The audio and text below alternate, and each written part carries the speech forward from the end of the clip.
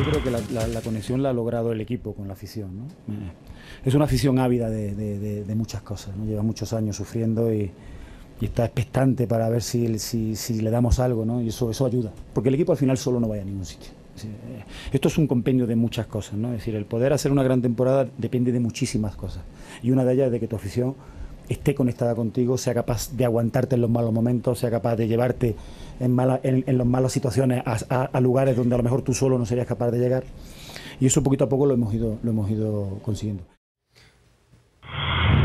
Bueno, el equipo ganó y, gustó, que es una buena noticia, pero hay que recordar, no es por ser aguafiestas, que las evaluaciones con Cruz Azul se hacen al final. Las cuentas se hacen al final de la temporada, porque al final, Ana, nada que no sea el título es bien recibido por la afición de Cruz Azul. Sí, sobre todo después de tantos años sin siquiera llegar a, la liguilla. En este caso hacen algo bueno porque rompen una mala racha que tenían con, con Atlas, pero hay que ver cómo les va por el resto del torneo porque siempre es la misma historia. De repente juegan bien, pero les falta el gol. Llegan bien, pero después se pierden al final. Entonces vamos a ver cómo termina. No se puede hacer realidad. Parece que sí, Karim.